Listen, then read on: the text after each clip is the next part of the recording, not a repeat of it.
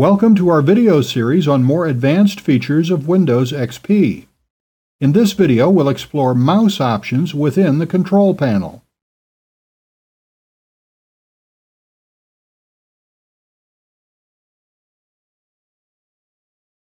Now let's take a look at the mouse options in Control Panel.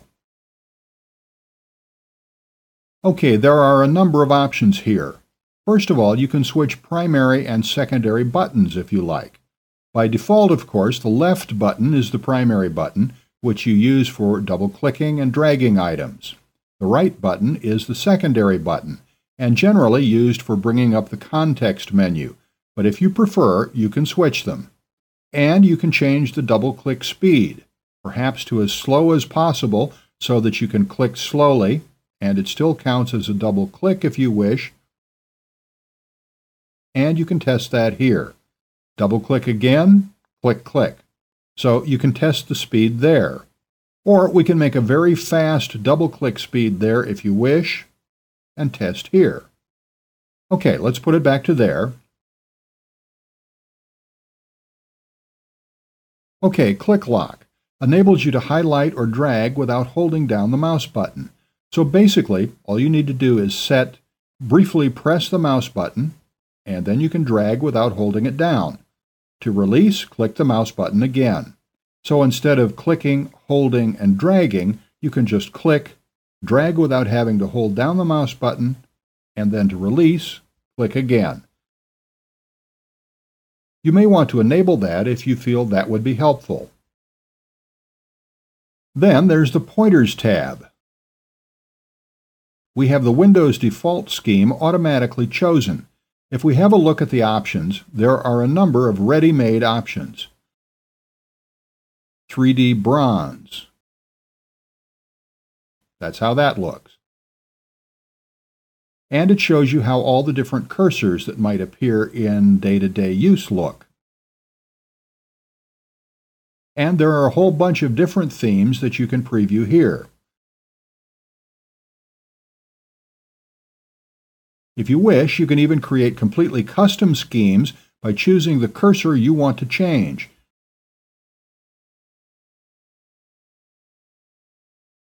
And then clicking on Browse. And then you can take a look at all the cursors that come already installed with Windows. If you click on any of these, you get a little preview, so you can create completely custom mouse pointer schemes that way. Let's cancel that. Okay, pointer options. How fast does the pointer move? If you set it up as fast, you can literally, you know, just moving the mouse an inch can make it dart across the screen, and it's going so quickly that it might be difficult to see. So you may prefer to have it very fast, but I feel that gives you less control, whereas if you do it slowly,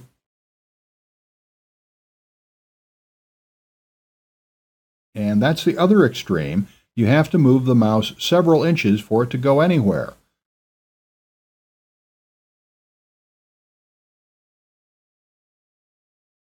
So let's take it back to somewhere in the middle. OK. You can have Snap To, which automatically moves the pointer to the default button in the dialog box display pointer trails, if that's of any use at all.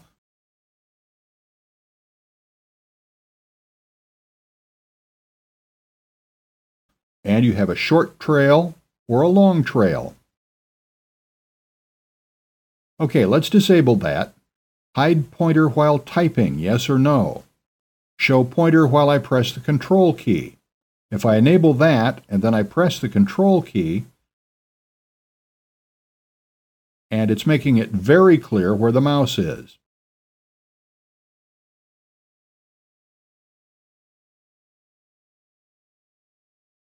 OK, to the Wheel tab. You can specify how far you move with each wheel click. So the following number of lines at a time. Roll the wheel one notch to scroll the number of lines. You can make that less or more, or even one screen at a time if you want. And finally, the Hardware tab just tells you which style of mouse you have installed.